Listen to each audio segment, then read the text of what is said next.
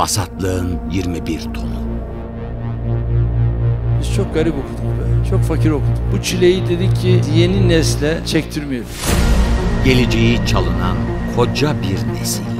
AKP'nin eğitim politikası öğrenciyi sürekli yeni bir çıkmazın içine sürüklüyor. 8 kez Milli Eğitim Bakanlığı değişmiş durumda. Erdoğan istedi ve bir günde TEOG'u kaldırdı. Erasmus tahtası yaptın sürekli değişiyor. Türkçe yeterlilik testi sonucuna göre her 3 öğrenciden ikisi orta düzey ve orta düzeyin altında. Öğrencilerin hakkını yiyen vicdansız bir anlayış.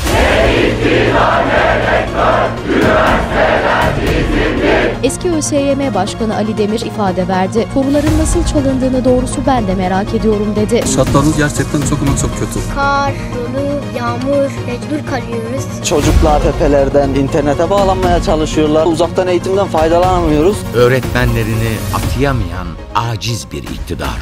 Sokakta seyyar satıcılık yapmakta tutun da inşaatlarda çalışan arkadaşlarımız mevcut. 80 üstü bir puan alıyorum ama ona rağmen atanamıyorum. 84 KPSS aldım. Kul ikincisi olarak mezun oldum ve şu an ben burada duruyorum. Elimizde şüphe yok. Çok rahat konuşuyoruz.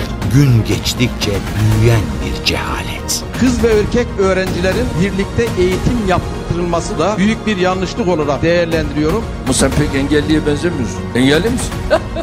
Vasatlığı yücelten bir liyakatsizlik. Ben daha çok cahil ve okumamış tahsilsiz kesimin firasetine güveniyorum. Bu eğitim sistemine çekilse toplumsal mühendislik projelerinin eğitim sistemine yansıması olan yanlış eğitim politikalarına çekilir. Gidin bakın üniversitelere. Sayın Cumhurbaşkanımız da vurguladı. Neredeyse fuhuş evleri. Hayatların ve hayallerin arasında devasa bir benim bir hayalim vardı. Coğrafya öğretmeni olmaktı. İşsizlik durumundan dolayı. Şu anda burada ekmek arası patates yapıyoruz. Onları satıyorum. Bakanlarıma, milletvekillerime, bürokratlarıma sormak istiyorum. Özel okullara milyarlarca para dökerken o öğretmenin aldığı maaştan haberleri var mı? Siz eğitim, öğretim mimarı mısınız? Caddelerde çapulcu olarak dolaşanlar mısınız? Ama çok yakında.